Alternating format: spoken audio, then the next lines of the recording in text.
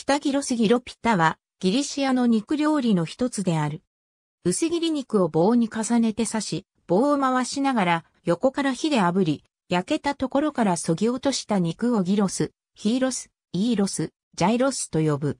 ギロスはシャワルマやタコスアルパストルと同様に、洋肉料理のドネルケバブから派生した食べ物である。現代にリシアでは、ギロスを豚の肩肉から作ることが多い。出す店によって肉以外の材料は若干異なるが、フライドポテト、玉ねぎのスライス、ザジキ、トマトなどをギロスと共にピタと呼ばれるパンに挟んで、一種のファーストフードのようにして食べることが多い。ギロスなどをピタに挟んだ状態のものは、ピタ、ギロスと呼ばれる。なお、白いソースはマヨネーズではなく、ザジキと呼ばれるヨーグルトソースである。現在では、ギリシャだけでなく、世界各国で食されている。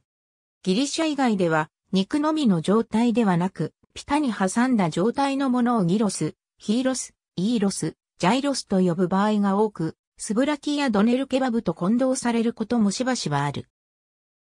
アメリカ合衆国では、薄切り肉の代わりに調味したひき肉を押し固めたものを焼いている店舗も多い。日本ではギロスをピタに挟んだ状態のものをギロピタと呼ぶ。ありがとうございます。